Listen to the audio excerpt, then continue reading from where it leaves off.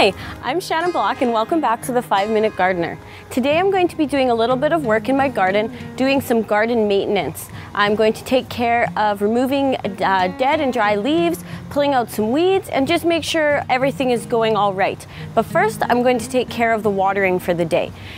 If you're growing your garden in containers, you're likely going to have to water your garden every single day. When you grow plants in containers, the container dries out more quickly than planting directly in the ground does.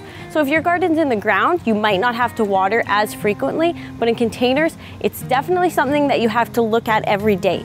Even if it has been raining quite heavily, you want to check your containers to make sure that they don't need water. Because if you have a container that is very full of plants, rain actually might hit the leaves and roll out of the container before it actually goes into the container. So even if it's raining, you still might have to keep up on your watering. If you choose water soluble fertilizer, all you have to do is simply add the powder to the water and you may choose to give it a little stir. Today I'm watering my garden midday, but it is best to water your garden early morning or in the evening. This will prevent uh, most of the water from evaporating rather than going into your soil.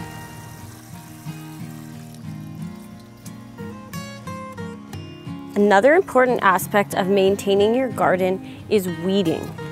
Weeds can take water and nutrients from the soil that uh, your plants might need so it's a good idea to get rid of them as soon as possible.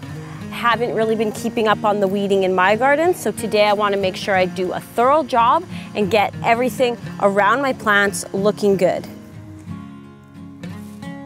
If you have any weeds in your garden that have gone to seed, you may choose to not put them in your compost because the seeds can live on in your compost and cause you more problems in the future when you put that compost back into your garden. So I've weeded all of my containers and the soil around the plants is looking good. Now I wanna go back and remove any yellow or dry leaves that are on the plants themselves.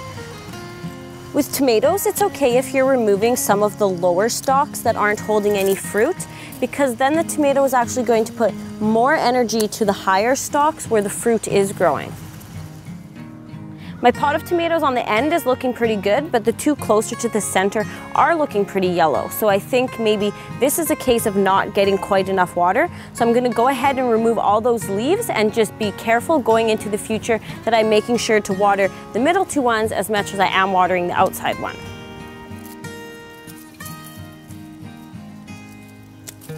You can see that these cucumbers here have started to grow up the fence, which is what I was hoping they would do.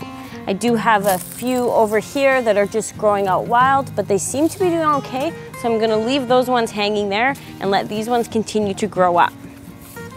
When you're collecting the dry or dead leaves, it's a great time to also check for any fruit that's ready to be harvested.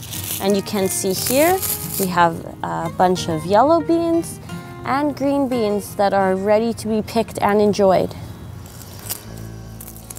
also a good idea to uh, take any dead or dry leaves off any flowers that you may be growing and also to cut off old flowers.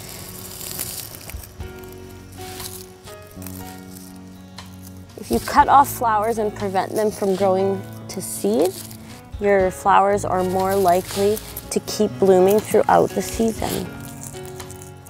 I've already cut some flowers off of these and you can see that it did force it to uh, promote some newer buds growing and it will continue to bloom.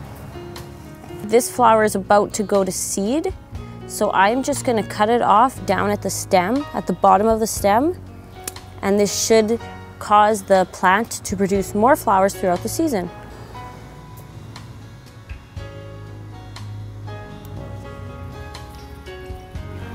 I hope you've enjoyed planting and maintaining your garden, but now you get to start to enjoy some of the vegetables that will continue to grow throughout the season.